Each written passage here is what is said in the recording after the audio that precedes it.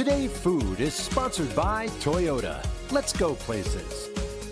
All right, if you're hosting a holiday get together and need a party dish that's always a crowd pleaser, We've got just what you're looking for. It is a recipe straight out of Chef Ronnie Woo's new cookbook. It's called Did You Eat Yet? Hey, Ronnie, how are you? Hello. Hi. Thank you for having me. Tell us me. about this new book. Oh my god. Well, it's one of my favorite books. It's great for the holidays, by the Yeah. way. Like it's my new cookbook. You have these cozy, fun fall recipes, but it actually transitions perfectly into spring and summer.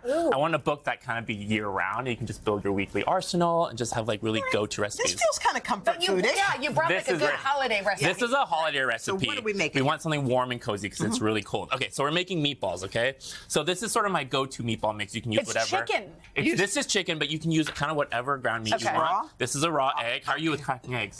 So so. She's okay. Okay.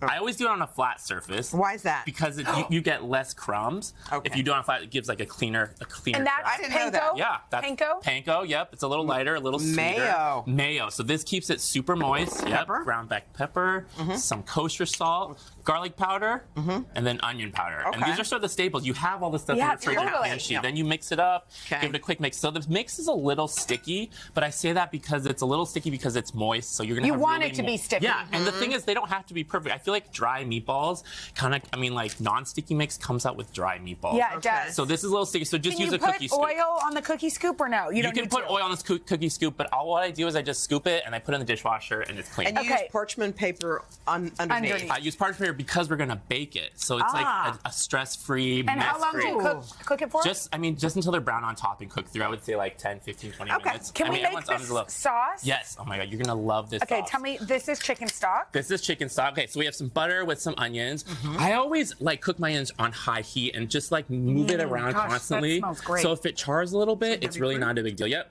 char. Yeah, that we have heavy cream heavy or half cream. and- Nope, heavy cream. But if you don't have heavy cream, use half and half. We're gonna use some fresh garlic here.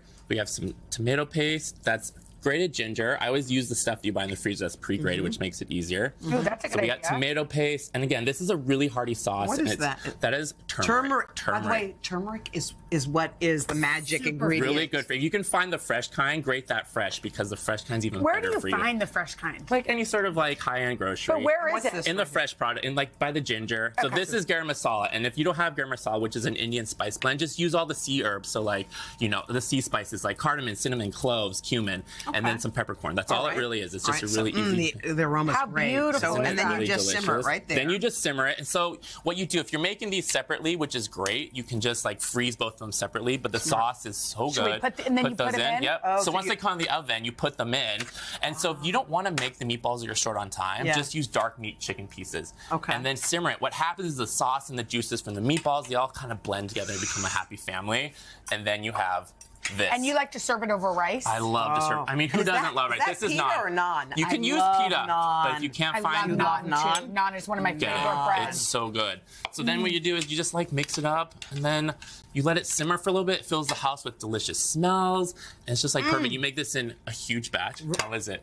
delicious. So the good, right? sauce is amazing. Isn't it? So so if you have leftover sauce, which you won't, but if you do, just reuse it the next day.